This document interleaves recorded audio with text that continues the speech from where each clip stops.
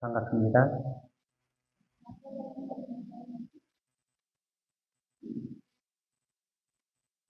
불광사에는 10년 만에 왔네요. 10년 전에 논문 발표가 있어서 와서 논문 발표를 했던 기억이 있는데 그때 이후에 왔더니 오늘 제가 운전해서 왔거든요. 아, 세상에 운전해서 오니까 저 옆에 있는 그 타워가 무슨 타워예요?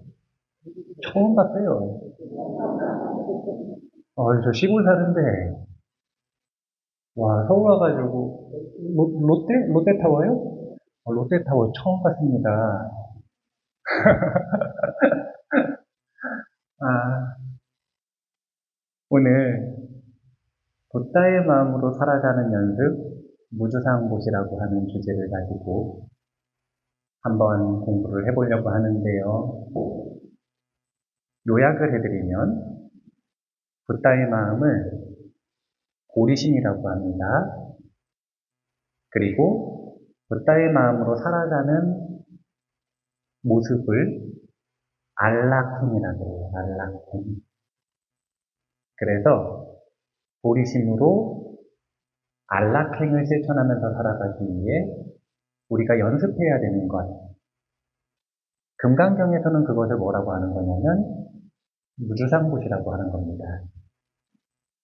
오늘 이 세 가지 키워드, 보리심으로 살아가는 것, 안락행을 실천하는 것, 그리고 무주상보시를 연습하는 것.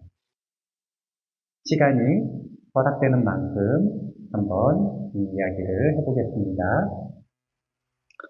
근데 저는 언제까지 말하면 되나요? 40분 좋습니다. 40분쯤 되시면 아는 부분이 심어주세요. 네. 아, 제 요즘에 재미있게 그리고 흥미롭게 하지만 우려하면서 보고 있는 드라마가 하나 있어요.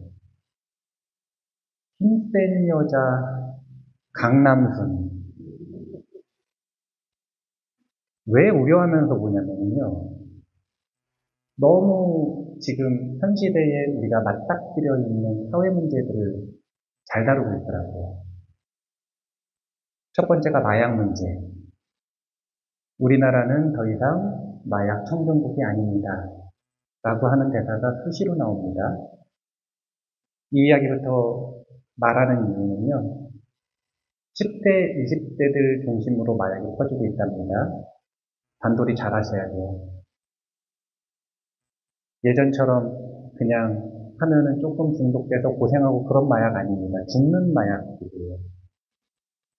지금 유통되고 있는 마약들은 그래서 단돌이 잘 하셔야 되고 그 다음 두 번째가 청년 거지 문제. 청년들 노숙인 되어 있는 청년 거지 문제. 그런 문제들을 다루고 있는 드라마가 힘센 여자 강남순인데 사실은 힘센 여자가 오리지널은 위사카 부인이라고 하는 부인입니다. 혹시 부처님 초기 경전에 자주 등장하는 인물인데 위사카 부인이라고 들어보셨어요?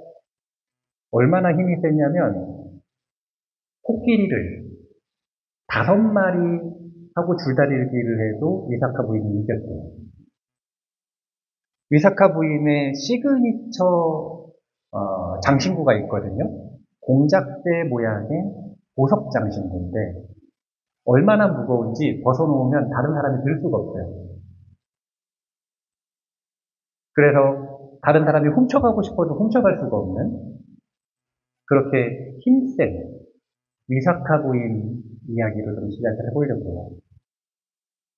위사카 부인이 시집을 딱 가려고 그러는데 이것저것 준비를 다 하다가 아버지가 위사카 부인이 떠나기 직전에 여덟 가지 훈계행화를 합니다. 예를 들면 이런 것들이에요. 첫 번째, 두 번째가 중요한데 집 안에 있는 볼을 외부로 옮기지 말아라. 바깥에 있는 볼을 집 안으로 가지고 오지 말아라. 돌려주지 않는 이들에게는 주지 말아라. 그리고 앉고, 눕고, 자고, 먹고, 이런 다양한 여덟 가지 훈계의 말씀을 하십니다. 옆에서 시댁에서 그 얘기를 다 들었어요. 위사카 부인이 시집을 갔는데 시댁에서 문제가 생겼어요. 그게 뭐였냐면 시댁은 부처님을 섬기는 집안이 아니라 미간타들, 나체 수행자들을 섬기는 집안이었어요. 그래서 아라한들이 오셨으니까 공양을 올리라 그래서 위사카 부인이 기뻐가지고 갔다가 기겁을 한 거예요. 나체 수행자들이 있으니까. 그래서 자기도 모르게 이런 표현을 했어요. 저런 수치도 모르는 사람들을 어떻게 아라한이라고 하느냐. 벌써 시아버지하고 사이가 틀어지는 게 눈에 보이실 거예요. 시아버지가 그 정도는 참았습니다. 왜 참았냐면 위사카 부인 집안이 본인 집안보다 10배 정도 부자였거든요. 참았어요. 어느 날 비구 스님들이 오셨는데 시아버지가 음식을 이렇게 드시다가 비구 스님들이 오셨으면 모셔가지고 공양을 올리고 그래야 되는데 공양을 올리기가 싫으니까 고개를 숙이고 모른 척하고 막 밥을 먹는 거예요. 옆에서 이사카 부인이 부채질을 해드리다가 아버지한테 계속 말씀을 드리는데 계속 모른 척 밥만 먹습니다. 그래가지고 이사카 부인이 말을 해요. 뭐라 그러냐면 스님들 그냥 가십시오.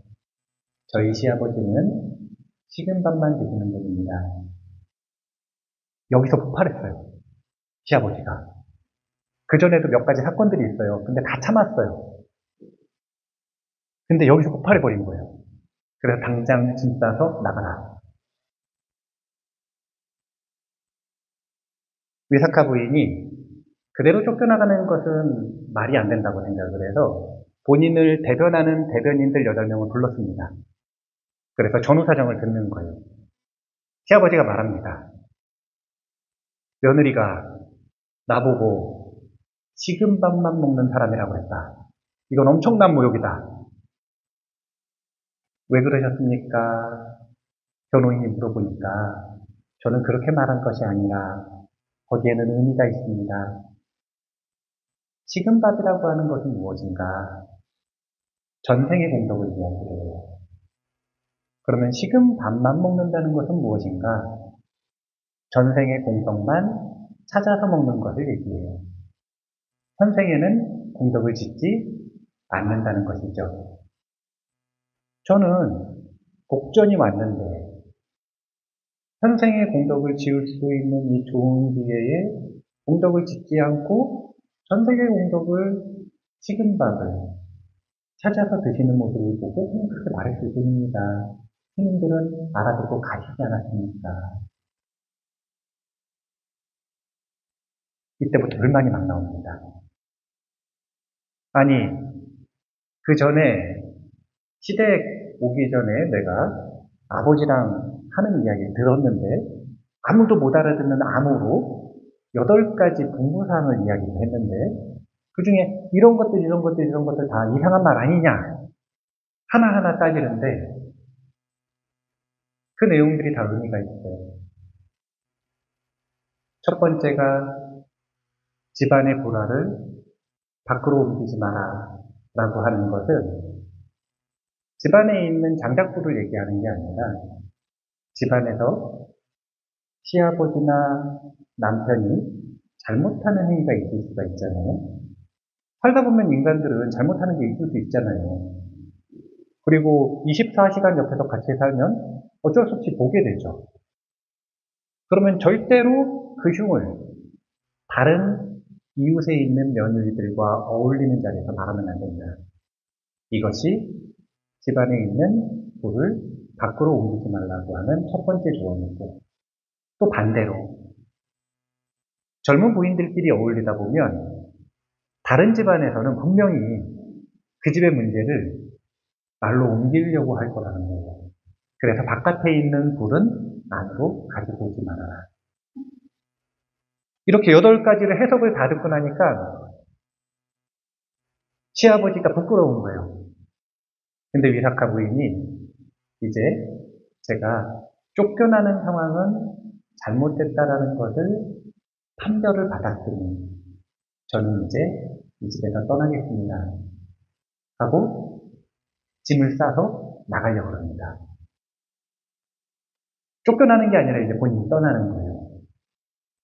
왜 그런가 물어봤더니 저는 부처님을 섬기는 집안이 아니면 있을 수 없습니다. 저는 비단타들을 섬기면서 살 수 없습니다. 그래서 저희는 함께 살 수 없습니다. 그래서 이 시아버지가 그리고 시어머니가 부처님께 귀의하고 위사카 부인을 어머니라고 부르면서 모시고 삽니다. 며느리를 어머니라고 부르면서 모시고 사는 거예요.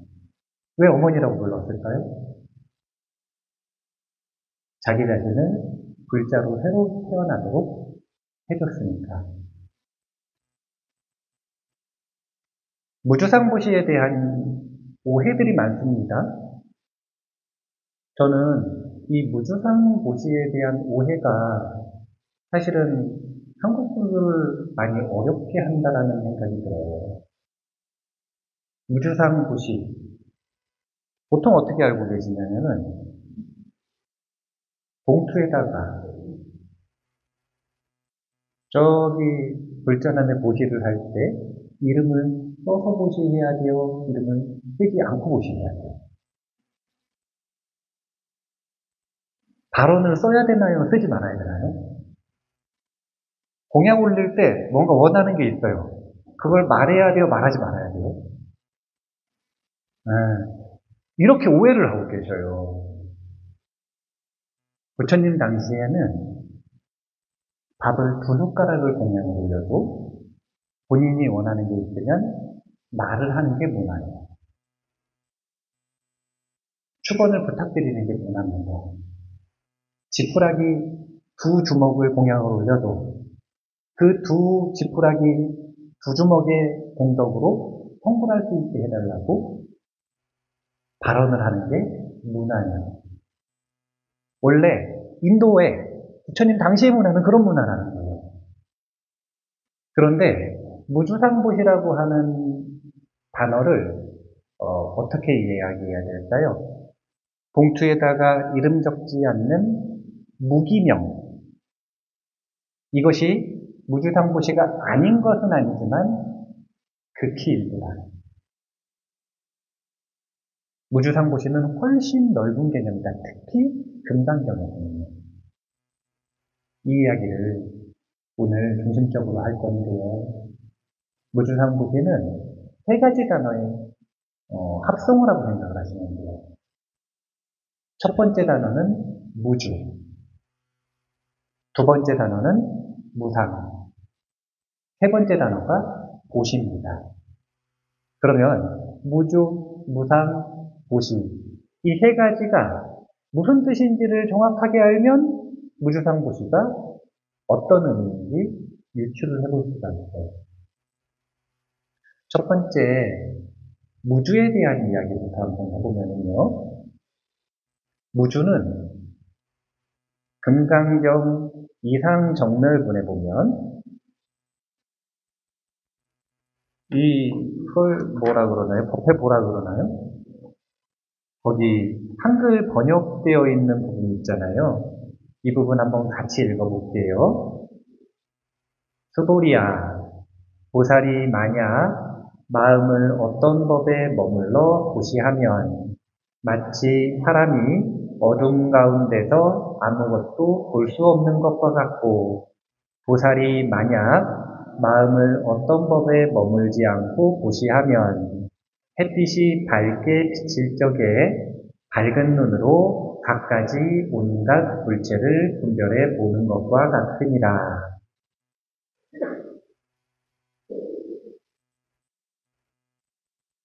여기서 우리가 무주라고 하는 것은 어디에도 머무르지 않는 마음이다 이렇게 표현을 하는데 그런 마음이 도대체 어떤 마음인가 거꾸로 생각을 해보시면 돼요. 어떻게 생각을 해보시면 되냐면 어디엔가 머무르는 마음 그리고 어떤 대상에 사로잡혀 있는 마음 이런 마음을 뭐라 그러냐면 얼빠진 마음이라 그래요. 얼빠졌다 이런 말 들어보셨죠?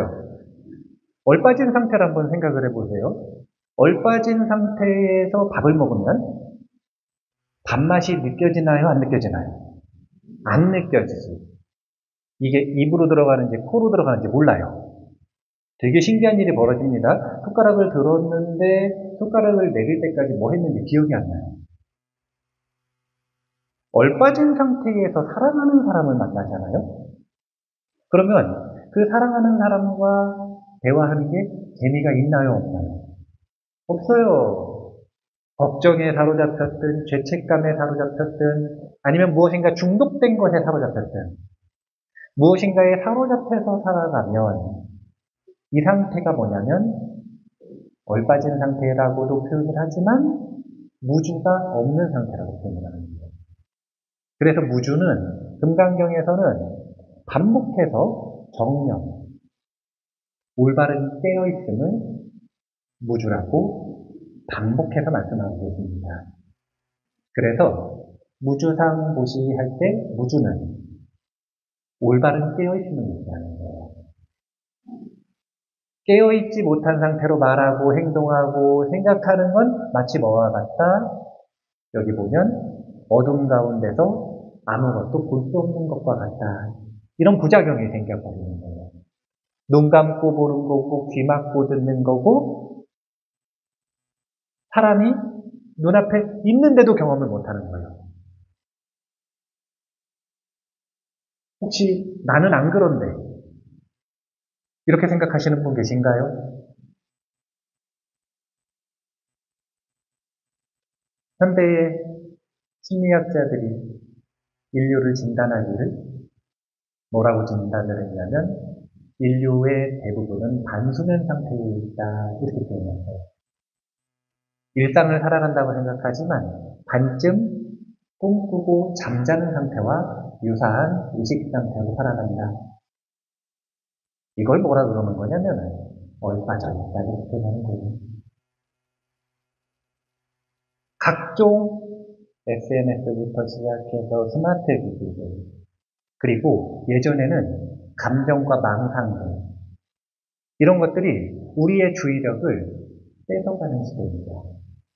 우리를 얼 빠진 상태, 반수면 상태로 만드는 시대예요. 부처님 당시에 샹카라키타라고 하는 음, 은사와 제자가 있었어요. 그러니까 은사 스님도 샹카라키타예요. 제자도 샹카라키타예요. 왜냐하면 제자가 은사 스님 조카거든요. 그때 당시에는 법명을 따로 주는 게 아니라 지역 이름이나 성 이런 것들을 보통 이름으로 쓰셨거든요. 법명으로. 그래서 샹카라키타라고 하는 제자가 있는데 삼촌생님 너무 멋있는 거예요. 출가하신 것도 멋있는데 아라한이 되셔가지고 너무 멋있는 거예요. 여기 법회부 보니까 전법이 참 많이 강조가 되어 있습니다. 전법을 하는 제1원칙은요, 부러운 돼요. 부럽잖아요? 그러면 전법을 하려고 애를 안 써도 돼요. 사람들이 자기가 부럽고 궁금해서 함께 하고자 다가옵니다. 샹카라키타의 조카가 그랬어요. 삼촌 스님 너무 부러워가지고 은사 스님으로 모시고 공부를 시작을 했어요. 공부는 잘 됐죠. 아주 존경하는 스님한테 너무 출가하고 싶어서 출가했는데 스님 잘했죠. 어느 날 문제가 발생했어요. 어떤 문제가 발생했냐면 마을을 나갔는데 아주 좋은 가사천, 아주 좋은 이 옷을 공양을 받은 거예요. 그러면 그 천을 가지고 가사를 만들어야 되는데 딱 받자마자 무슨 생각을 했냐면 아, 이거는 내가 입어야겠어요? 아니면 우리 스님 드려야겠어요? 아, 이거는 우리 스님 드려야겠어요. 그래가지고 옷을 귀하게 모시고 가가지고 이제 스님한테 드리려고 스님 앉아 계시면 부채질을 해드린다는 거예요. 이렇게 부채질을 해드려요. 부채질을 해드리다가 조심스럽게 스님한테 말씀을 드렸어요. 스님 제가 오늘 목공양을 받았는데 이거 스님께서 받아주시면 너무 감사하겠습니다. 스님이 공부 생각을 해보시더니 나는 좋은 옷감이 많으니까 그러지 말고 우리 제자들만 하세요. 그러면은 기뻐야 돼요, 서운해야 돼요. 아, 원래 기뻐야지. 좋은 옷감이 나한테 왔는데 우리 스님이 나 위해가지고 옷을 주셨는데 기뻐야죠. 그런데 샹카라 키타는 서운한 거예요. 왜 서운해요? 이게 바로 얼빠져 있기 때문에 서운한 거예요. 아니 은사 스님의 뜻이 눈에 들어오질 않아요. 눈이 멀었어요. 어떤 생각에 눈이 멀었냐면 이 옷은 스님한테 공양 올리고 싶다. 이 생각에 지금 사로잡혀 있으니까 너무 서운한 거예요. 그래가지고 부채질을 하다가 또 말씀을 드렸어. 아니, 스님, 이거 제가 받자마자 스님 드리고 싶었는데, 스님 받아주시면 제가 스님 잘될 것 같습니다. 공양 받아주십시오. 스님이 또 곰곰이 생각을 하시더니, 아, 나는 옷이 많으니까, 우리 제자들만 하세요. 그러면 훨씬 더 공덕이 클 거예요. 공덕도 클 거래요. 그럼 기뻐야 돼요? 아니면 서운해야 돼요? 근데 얼빠져 있으니까 지금 눈이 멀었다니까? 눈이 멀어가지고 또 부채질을 막 해요. 세 번째 권했어요. 아, 스님, 한 번만 받아주십시오. 아주 끈질깁니다. 근데 은사 스님도 세 번째 결국 또 거절을 하셨어요. 그러니까 샹카라키타의 생각은 이제 망상으로 이어지기 시작합니다. 어떤 생각을 하기 시작하냐면 부채질을 하면서 아 나는 우리 스님한테 거절당했다. 스님이 날 싫어하시나? 아 내가 조카라고 억지로 받아주셨나 보다. 아 내가 스님한테 패를 끼치고 있구나. 아 그러면 나는 환속해야겠다. 환속을 하면은 여자친구가 생기겠지? 결혼을 할라나? 결혼을 하면 아이가 나올 건데, 아이를 낳으면은 윤사님한테 인사를 드리러 와야겠지? 윤사님이 그때 좋아하실라나? 아이는 누가 데리고 가야 되지? 부인이 힘이 없을 테니까 내가 들어야겠다. 근데 부인이 내 말을 안 듣고 자기가 들것 같은데. 그러다가 망상 속에서 애를 떨어뜨렸어. 갓난쟁이를요. 그 갓난쟁이가 크게 다쳤어요. 그러니까 망상 속에서 부채질을 하는 중간에 너무 화가 나가지고 부인을 때렸어. 망상에서요. 그럼 현실에서 어떤 일이 벌어지죠? 부채로 은사스님 머리를 때린 거예요.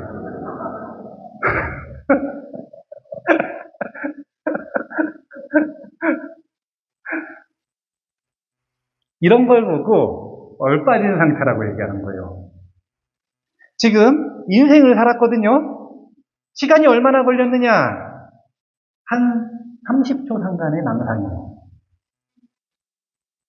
근데 이 은사스님 대단하십니다. 은사스님은 얼빠진 분이 아니에요. 얼빠진 분이면 제자가 나를 때려?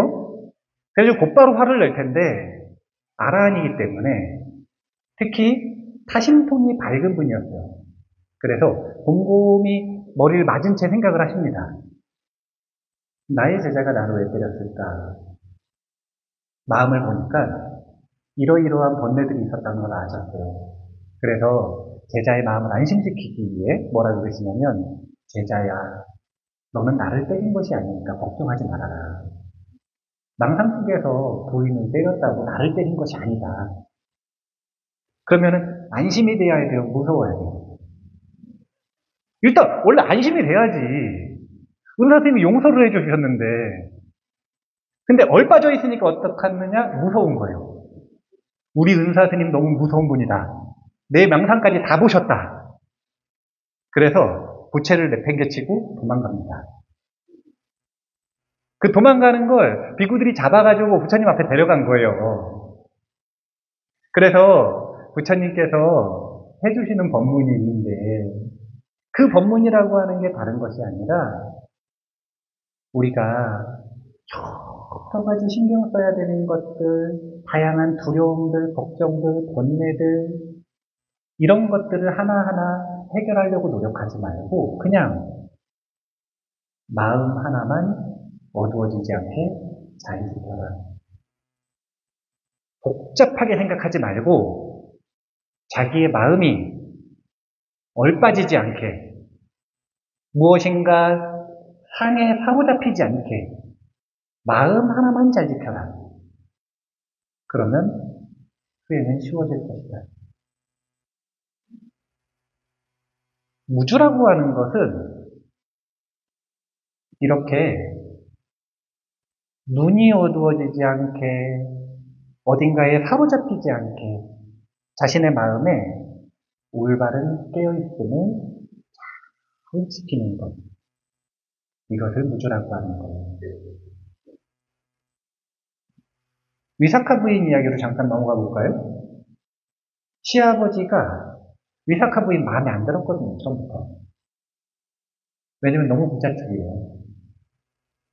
거기다가 첫인상 자체가 본인이 섬기고 있는 니간타들, 수행자들을 못마땅하게 보니까 종교 갈등 아닙니까, 벌써? 아, 마음에 안 들어요. 한 번 마음에 안 들면 이쁜 짓을 해도 마음에 안 들죠. 첫인상은 잘 만드셔야 됩니다. 첫인상은 관계를 이어가는 내내 영향력을 끼치는 게 첫인상. 끝인상은 헤어진 다음에 끝까지 영향을 미치는 게 끝인상이에요. 사람은 그렇게 인상, 상에 사로잡히는 성향이 있어요. 무상이라고 하는 건 정말 단순화시켜서 생각을 하면 그 어떤 고정관념에도 사로잡히지 않는 것. 이것을 무상이라고 하는 겁니다. 내 며느리는 부잣집 딸이다. 내 며느리는 나를 반대한 약간 깍쟁이다. 이런 상에 사로잡히면 그 고정관념 때문에 사람을, 경험을, 대상을 객관적으로 있는 그대로 볼 수가 없어요. 그럼 어떻게 되느냐? 끝없는 오해만 생성될 뿐입니다. 무상이 우리를 어리석게 만드는 근본이에요. 그래서 육조 해능 스님이 유명한 구절이지 않습니까? 저작거리에서 금강경 딱 들으시고 한순간에 깨치셨다 그러잖아요.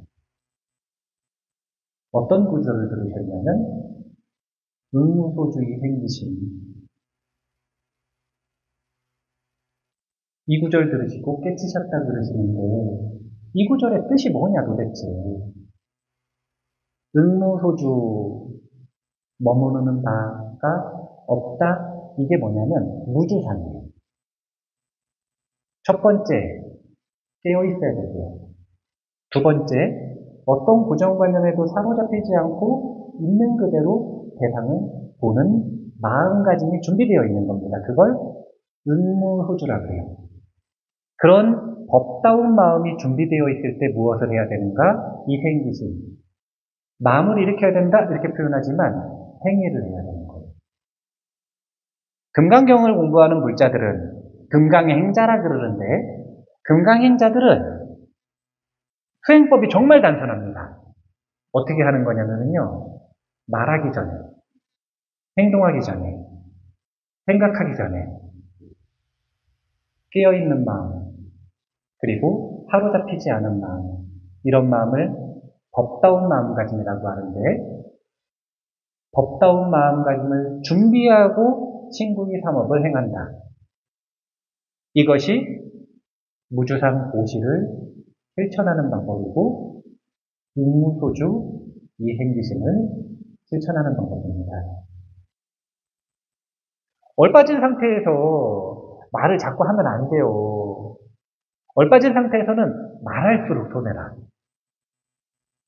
말실수 꼭 하거든요. 얼빠진 상태에서는 행동도 하지 마세요. 입보살인론이라고 하는 논전에서는 뭐라고 하시냐면 나무 토막처럼 가만히 있으라는 거예요. 자기가 얼빠져가지고 무엇인가에 사로잡혀서 말하고 싶고 행동하고 싶으면 나무 토막처럼 제발 좀 가만히. 그럴 때는 말하면 말할수록 실수만 반복하고 자신의 평판만 깎아먹고 그리고 사실은 다양한 분야에서 손해만 축적될 뿐입니다. 심지어는 생각도 무주상, 응무소주의 상태, 올바른 상태, 법다운 마음가짐이 준비되어 있지 않다면 생각도 조심해야 돼요. 그냥 금강경이 가르치는 가장 단순하게 요약을 했을 때 이 무주상 보시의 실천입니다. 그렇다면 보시가 무엇인지를 알아야죠. 보시는 불전 안에다가 불전을 넣는 게 보신가, 보신가요? 아니라고 하시면 안. 이거 맞는 거예요. 제가 선문답하는 게 아니거든요. 상식선에서 물어보는 겁니다. 자, 불전함에다가 이 불전을 넣습니다. 보신가요? 좋죠. 보십니다. 이런 걸 재보시라는 거예요. 마음이 불안하고 두려운 사람이 있어요. 그 사람에게 위로의 말을 건네고 웃어주고 그래서 그 사람 마음이 안심됐어요. 이거 보신가요? 이런 걸 모엣이라고 합니다. 금강경을 열심히 읽었는데 이 구절이 너무 좋은 거예요. 그래서 그 구절이 필요한 사람한테 말을 해줬어요. 금강경의 말이야 이렇게 말을 안 해도 마음을 이렇게 써야 된다라고 조언을 해줬어요. 이거 보신가요? 겉보시. 보시는 세 가지 종류가 있다는 거예요. 재보시, 무해시, 겉보시. 그런데 이 세 가지가 육바람입니다. 이 세 가지가 육바람이에요. 육바람일 중에 보시바람일은 재보시를 의미한다고 할 수 있고 생각해 보세요. 지게바람일과 인욕바람일을 지키면 예를 들어가지고 맨날 욕하던 사람이 갑자기 지게바람일을 지킨다고 악업을 안 해요. 갑자기 맨날 화내던 사람이 인욕바람일을 실천하겠다고 갑자기 화를 안 내요. 그러면은 가족들이나 주변에 있는 사람들이 마음이 안심이 돼요, 안 돼요? 따로 보시하려고 노력할 것도 없어. 그냥 계율 잘 지키고 인욕바람일 실천하면 그냥 저절로 무예시가 되는 거예요. 규봉 종밀 스님이 벚보시는 이렇게 표현하십니다. 뭐라고 표현하시냐면 정진하지 않고 선정의 힘이 없고 지혜 바람일의 힘이 없는 사람이 보시할 법이 어디 있는가 그렇기 때문에 법보시는 정진, 선정, 지혜 바람일을 실천함으로써 할 수 있는 것이다. 그래서 규봉 종밀 스님은 이 육바람일을 보시 하나로 묶습니다.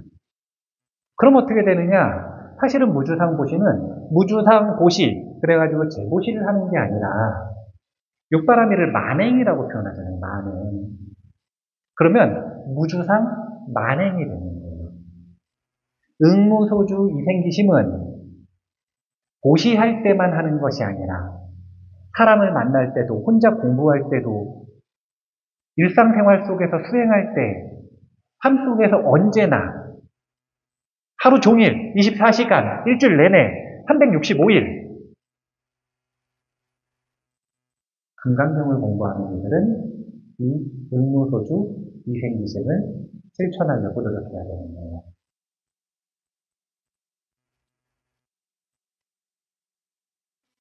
감산대사 금강경을 전 참 좋아합니다. 금강경이 오가이가 유명하잖아요. 근데 저는 궁합이 감산대사하고 맞더라고요. 이상해요. 저는 기신론도 감산대사 기신론을 진짜 좋아하거든요. 제가 궁합이 잘 맞는 분들이 있어. 중국 분 중에서는 감산 스님, 인도 스님 중에서는 전 해친구살이 그래 좋더라고요. 감산 스님은 금강경을 요약하면 하나의 단어가 나온다고 그러셨어요. 그것은 다름이 아니라 안심이에요. 그리고 감산대사는 안심즉 불심이라고 하셨습니다. 안심이 곧 부처님 마음이다. 금강경은 처음부터 끝까지 반복해서 안심만을 말하는 경전이다. 이렇게 본인의 주석서를 한마디로 요약을 하십니다. 우리가 말하기 전에 항상 체크해 보셔야 돼요. 내 마음이 안심하고 있는가. 행동하기 전에 항상 체크해 보셔야 됩니다. 내 마음이 불안하지 않은가. 생각하기 전에도 할 수 있으면 항상 생각해 보셔야 돼요. 점검해 보셔야 돼요. 내 마음이 안심의 상태입니다. 금강경은 그냥 이 말씀의 반복이에요. 금강경에서 우리가 실천할 수 있는 실천 방법의 대강은 무주상보시 하나로 말씀을 하시는데 그 무주상보시는 안심에서 시작된다는 거예요. 무주상이라고 하는 마음이 곧 안심입니다. 구조가 어떻게 되는지 설명해드리고 정리하고 마치도록 하겠습니다. 자, 무주, 무상, 보시. 자, 제가 현대 심리학자들 의견을 받아들여서 그냥 일반화시켜 볼게요. 현대인들은 대부분 얼빠진 상태로 살아간다. 혹시 나는 아니다! 나는 강력하게 아니다. 이렇게 생각하시는 분 계신가요? 이제 조금만 더 있으면 그런 말도 못 하세요. 이제 조금 있으면은 요즘에는 뇌파 측정기가 이렇게 붙이는 거 말고 그 다음 기술이 뭐냐면 레이저 딱 쏘면 그 레이저 접촉해가지고 뇌파 측정하는 뇌파 측정기 나오거든요. 그러면 자기가 산매에 들었다 거짓말인지 아닌지 다 나옵니다. 내가 깨달았다 이것도 다 나와요. 왜냐하면 학계에는 50년 동안 수행자들에 대한 의식 지표가 이미 쌓여있기 때문에. 얼빠져서 살아가는데, 얼빠져서 살아갈 때는 말도 조심하셔야 되고요. 생각도 조심하셔야 되고, 행동도 조심하셔야 돼요. 자, 얼빠져서 살아갈 때 제1번 실천해야 되는 건 무주입니다. 스스로에게 한번 물어보셔야 돼요. 어떻게 하시면 되냐면, 나는 지금 깨어있는가? 깨어있는 방법은 정말 쉬워요. 어렵게 생각하시면 안 돼요. 깨어있는 건 그냥, 내가 지금 깨어있나? 물어보기만 하면 어떻게 되냐면, 곧바로 깨어있어요. 내가 지금 깨어있나? 이게 무주의 실천의 기본기입니다. 두 번째, 무상 반야의 힘으로 마음에 사로잡혀 있는 고정관념과 감정을 해결을 해야 되잖아요.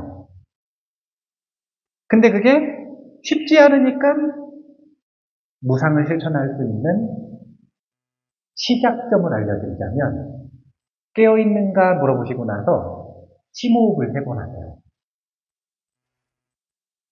호흡을 세 번 하면서 내가 가지고 있는 해결 안된 감정과 망상들을 호흡으로 내보낸다고 생각을 하시고 심호흡을 하는 겁니다.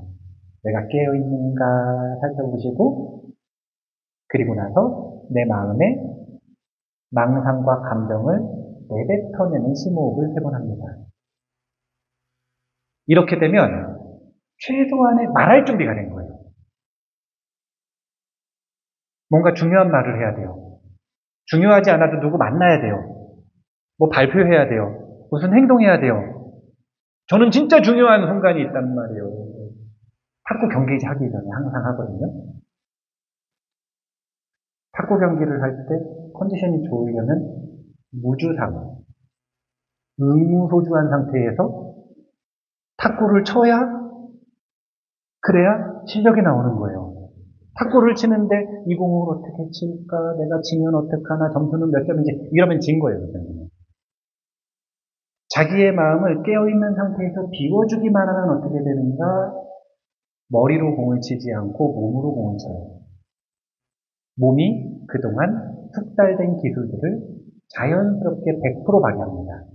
중요한 시험이 있다? 내가 깨어있는가? 심호흡을 통해서 마음을 정돈하고 그리고 나서 우리에게 다가오는 경험을 맞이하는 겁니다. 이렇게 할 때 우리는 만나는 사람들에게 그리고 맞이하는 경험들에게 경험의 대상들에게 최선을 다합니다. 이런 상태에서 경험을 해야 전념할 수 있고요. 집중할 수 있고요. 몰입할 수 있는 겁니다. 몰입, 몰입. 요즘 정말 중요한 이슈가 되는 단어인데, 왜 몰입이 안 되는가? 다른 거 없어요. 응무소주, 무주상의 마음이 준비되지 않았기 때문에. 무주상의 마음이 준비가 되면 우리는 그냥 몰입할 수 있는 존재입니다. 사람에게, 대상에게 우리의 경험에 전념할 수 있는 사람들이에요. 그리고 그렇게 전념하는 것을 상대방에게 사랑을 베푼다 이렇게 말하는 거예요. 상대방에게 자비로운 태도를 가지느냐 이러는 거예요. 세상에서 제일 큰 자비는 내 마음을 주는 거거든요. 금강경은 반야바라미를 중심으로 합니다. 그런데 그 반야바라밀은 무엇을 위한 것이었는가? 다름이 아니라 만나는 중생들을 전부 진지하게 최선을 다해서 사랑하는 마음으로 자비로운 태도로 만나기 위해서 무주상 고시를 연습하고 금강경을 본다는 겁니다. 주어진 시간이 1분 남았습니다. 항상 그래요, 보면. 한 5분 한 것 같은데, 시간이 다 됐대요. 30분짜리 강의도 그렇고, 2시간짜리 강의도 그렇고, 왜 그런지 모르겠어요. 제가 그래도 최선을 다하기 때문이지 않을까요?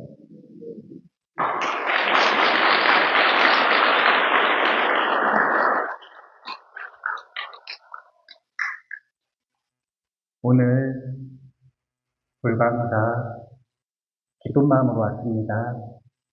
10년 만에 학인일 때 왔다가 오랜만에 다시 방문을 했는데요. 떨리는 마음을 잘 진정시키고 얼빠지지 않은 상태에서 하려고 노력하고 어떤 고정관념에도 사로잡히지 않으려고 노력하고 그렇게 의무소주를 제 나름대로 최선을 다해서 실천해서 전념하는 마음으로 여기 계시는 법부님들에게 마음을 드렸습니다. 이런 모습이 무주상 보시라고 하는 금강경의 실천 법으로 전달되었으면 좋겠습니다. 항상 무주상 보시 잘 실천하셔서 세상을 사랑하는 마음으로 살아가셨으면 좋겠습니다. 마무리할게요. 감사합니다.